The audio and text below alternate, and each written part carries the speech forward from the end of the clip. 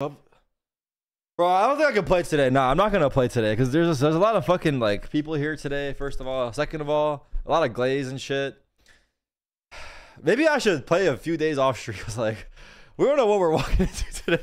But Eric- I don't. I don't think he would do insanely well. I think he Yeah. can make a comeback and play in tier It's one. and hard, man. People are too average to good. above average player. Mm-hmm. I don't think he could be like a star. Um, That's fair. That's but fair. I That's fair. do That's think fair. he would like be able to fit a role and play it. What what he- role do you think you would fit I best have no in? idea. Right? I think he only plays duel. He only I plays know he only right? plays duelist. I'm gonna leave all that out. Nah. Thing is, the reason I play duelist is because most of the duelists don't know how to play duelist, so I usually fucking insta fill that shit in my games.